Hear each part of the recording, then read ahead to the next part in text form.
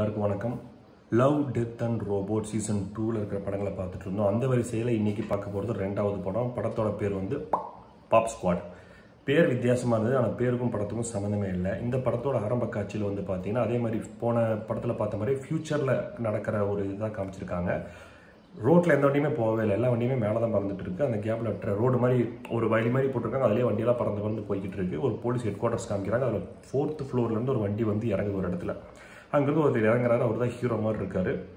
கூட ஒரு லேடி இன்னொரு ஆள் வர்றாங்க. அவங்க போய் ஒரு வீட்டை திறந்து அங்கே இருக்கிற பொது ஜனங்களை வந்து வெளியே இழுத்து போட்டு அந்த ஹஸ்பண்ட் ஒய்ஃப் அரெஸ்ட் பண்ணி எடுத்துகிட்டு போகிறாங்க எதுக்காக அப்படிங்கிற நமக்கு காமிக்கிறாங்க. அந்த ஊரை பொறுத்த வரைக்கும் அந்த ஏரியாவை பொறுத்த வரைக்கும் பார்த்தீங்கன்னா ஒன்லி பணக்காரங்க ஒரு குறிப்பிட்ட இதுக்கு மேலே இருக்கவங்க மட்டும்தான் இருக்கணும். மற்றவங்க யாரும் இருக்கக்கூடாது. அவங்க ஜெயிலில் தான் இருக்கணும் அப்படிங்கிற மாதிரி சொல்லியிருக்காங்க. இந்த இடத்துல வந்து பார்த்தீங்கன்னா அவங்களோட பரிணாம வளர்ச்சி ஏற்பட்டு அவங்க யாருக்குமே வயசே ஆகாது. ஒவ்வொருத்தனையும் பார்த்தோம்னா உனக்கு என்ன வயசுன்னு கேட்டால் எனக்கு நூற்றம்பது வயசு. உனக்கு எனக்கு நூற்றி ஐம்பது உனக்கு இரநூத்தி பத்து அப்படின்னு சுற்றிட்டு இருக்காங்க. ஹீரோட வயசு வந்து இரநூத்தி பத்து கூட ஒரு லேடி போலீஸ் வர்றாங்க இவங்க போலீஸ் அந்த லேடி போலீஸ்க்கு வந்து இரநூறு வயசு.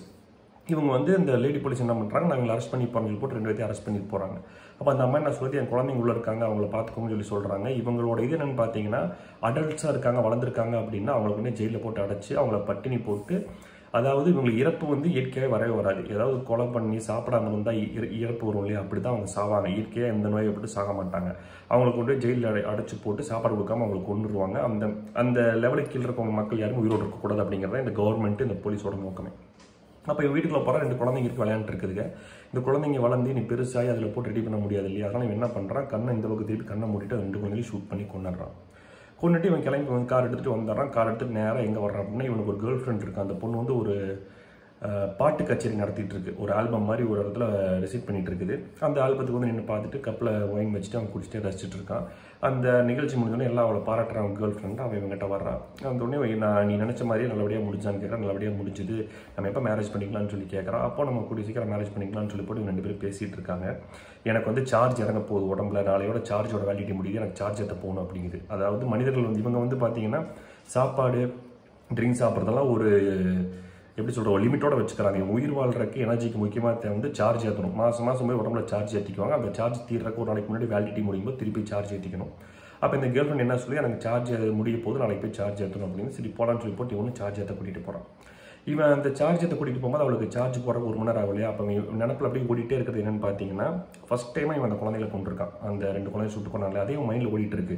குழந்தைங்க அணியமே கொண்டுமே அணியமே கொண்டுமே ஓடிட்டு இருக்கு. பட் அவங்க அப்பா அம்மா தான் வந்து தவறு செஞ்சாங்க. இத்தனை நாள் குழந்தைகளுக்கு மறைச்சி வச்சு வாழ்ந்தாங்க. அந்த குழந்தைங்க என்ன தப்பு செஞ்சு அதே நம்ம கொண்டுட்டமே அப்படின்னு சொல்லிட்டு ஒரு குற்ற உணர்ச்சியோடவே இருக்கான் அவங்க கேர்ள் ஃப்ரெண்டு சரியாக கான்சென்ட்ரேட் பண்ணி பேச முடியல. அவள் சார்ஜ் எடுத்தோடனே திருப்பி வீட்டுக்கு கூட்டிகிட்டு வரான் வீட்டுக்கு கூட்டு வரும்போது அவன் கிட்ட நெருக்கமாக இருக்கலாம்னு சொல்லி வரும்போது அதையும் அவாய்ட் பண்ணிடுறான். ஏன் அவனுக்கு என்னாச்சுன்னு சொல்லி கேட்கும்போது இல்லை எனக்கு மனசு சரியில்லைன்னு சொல்லி போட்டு நேராக போயிடுறாங்க. போனதையுமே இவன் ஸ்டேஷனில் இருக்கவனே அங்கே ஸ்டேஷனுக்கு போகிறாங்களே ஸ்டேஷனுக்கு போய் ரிப்போர்ட்லாம் கொடுத்ததுக்கப்புறம் இன்னும் நம்ம நிறைய பேர் இந்த மாதிரி கண்டுபிடிச்சி அடிக்கணும். அப்போ தான் மேல்தட்டு மக்கள் மட்டும் இருப்பாங்க. கீழ்த்தட்டு மக்கள் யாருமே இருக்க மாட்டாங்க. மொத்தமாக அடிக்கணுங்கிற மாதிரி மீட்டிங் நடக்குது. இவன் அந்த மீட்டிங்லேருந்து எந்திரிச்சு எனக்கு உடம்பு சரியில்லை வீட்டுக்கு போகிறன்ற மாதிரி மைண்ட் செட்லேயே வந்துடுறான்.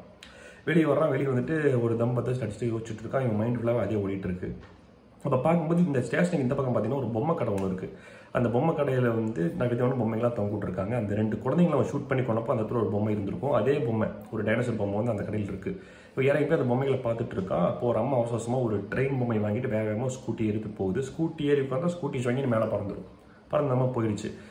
இந்த அம்மா பார்த்தா ஒரு பணக்கார வீட்டால் மாதிரியே தெரியலன்னு சொல்லி போட்டு இவன் கரெக்டாக அந்த அம்மா ஃபாலோ பண்ணிட்டு போகிறான் ஒரு மலைகள் நடுவில் ஒரு வீடு இருக்குது அந்த வீட்டில் முன்னாடி அந்த ஸ்கூட்டி நிற்கிது இவனும் கார சத்தமெல்லாம் பார்க் பண்ணிட்டு அந்த வீட்டுக்குள்ளே போகிறான் அங்கே ஒரு சின்ன குழந்தை அந்த ட்ரெயின் வச்சு விளையாண்டுருக்கு அவங்க ஏழை ஏழை மக்கள். இந்த அம்மா சமைச்சிட்டு இருக்குது. உள்ளே போனால் அந்த அம்மா இவன் அட்டாக் பண்ண வருது. அவன் அந்த அம்மாவை பிடிச்சி உட்கார வச்சு கட்டி வச்சிடறான். கட்டி வச்சுட்டு அந்த குழந்தைய எடுத்து அந்த அம்மாட்ட கொடுத்து யார் நீ இங்கே சுற்றிட்டு இருக்கான்னு கேட்கும்போது எனக்கு வயசு வந்து ஒரு முந்நூறு ஆச்சுங்க. இது என்னோட குழந்தை தான் இவங்க அப்பா வந்து உங்களை மாதிரி போலீஸ்காரங்க பிடிச்சிட்டு போய் ஜெயிலில் போட்டு சாப்பாடு போடாமல் கொண்டுட்டாங்க நாங்கள் இந்த குழந்தைய வச்சு நான் வளர்த்த கஷ்டப்பட்டுருக்கேன். நீ பண்ணுற சட்ட விரோதம் நீங்கள் இருக்கக்கூடாது. தெரியுமா உனக்குன்னு சொல்லி சொல்கிறான் பேசிகிட்டு இருக்கும்போதே அந்த குழந்தை இறங்கி வந்து இவன் பேண்ட்டை பிடிச்சி இழுத்து விளையாடுது. இவனுக்கு மனசு அப்படியே லேஸ் ஆகுது. ஆல்ரெடி ரெண்டு குழந்தைகளை கொண்டிருக்காங்க இந்த குழந்தையை கொல்ல வேணாம்னு சொல்லி போட்டு தொப்பி வச்சோட விளையாண்டுருக்கான். அந்த கேப்பில் இவன் வந்து மைண்ட் டைவர்ட் ஆனால் அவன் என்ன பண்ணுறான் அந்த கன் எடுத்து இவனை ஷூட் பண்ண பார்க்குறான் அவன் இவன் மடைக்கு போட்டு திருப்பி அவன் கழுத்துல கன்னை வச்சிடறான். நான் உன்னை கொள்ளவோ உன் குழந்தை கொள்ளவோ இங்கே வரல. ரெண்டு குழந்தைகளை என் கையால் கொண்டுட்டு அதுக்கு பிராய்ச்சித்தமாக நான் அதை பண்ணணும் தான் இங்கே வந்தேன்னு சொல்லி போட்டு அந்த குழந்தைய கொஞ்ச நேரம் கொஞ்சிட்டு நீங்கள் இங்கேயே இருக்க நான் யார்ட்டையும் சொல்ல மாட்டேன் திரும்பின மாதிரி வெளியே வர்றான். இவன் வெளியே வரும்போது பார்த்தீங்கன்னா இவன் கூட ஒரு லேடி போலீஸ் வேலை செய்கிறான்ல இவனோட சிக்னலை ட்ராக் பண்ணிட்டு அந்த லேடி வந்து வந்திருக்கா. இவன் கடை காட்டுக்குள் இருக்கான்னு சொல்லி போட்டு இவன் அந்த வீட்டிலேருந்து வெளியே வரும்போது அவள் கரெக்டாக அவன் வண்டி வந்து நிற்கிது அவன் இறங்கி வந்து வந்து இப்படி அவனுக்கு பார்க்குறா அவனும் இவளை பார்க்குறான் இவளுக்கு பின்ன இவனுக்கு பின்னாடி வந்து அந்த லேடி அந்த குழந்தைய வச்சுட்டு வந்து நிற்கிறான் இப்போ அவளோட கணக்குப்படி பார்த்தா அந்த லேடி அந்த குழந்தைய கொல்லணும். ஆனால் இவன் கொல்லாமல் வந்துட்டானேன்னு சொல்லி போட்டு அவன் என்ன பண்ணுறான் கண்ணை கையில் எடுக்கிறான். அப்போ இவனும் கண்ணை கையில் எடுக்கும்போது அவளுக்கு என்ன தெரியுது? இவன் வந்து அவங்களுக்கு சப்போர்ட்டாக இருக்கான்.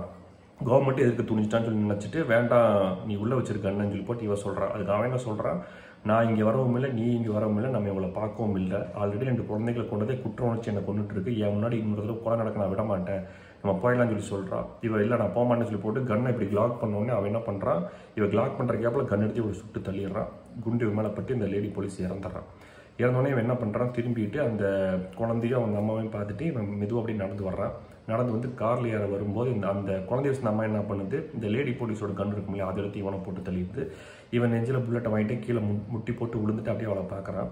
நான் உன்னை கொண்டது வந்து இனி நீ யாரையும் கொல்லக்கூடாதுங்கிறக்காக இல்லை இத்தனை நாளாக நீ பண்ண பாவத்துக்கான இது. எங்களை நீ காப்பதற்காக உன்னை நான் விட்டோம் அப்படின்னா நீ எப்போனா மனசு மாறுவா? இல்லை உன்ன மாதிரி எத்தனை போலீஸாலும் வந்து எங்களை கொள்ளலாம் நீ உயிரோடு இருக்கக்கூடாதுன்னு சொல்லி போட்டு அவனை திருப்பி ஷூட் பண்ணி கொண்டுறது அவனும் கையில் கீழே விழுகிறான்.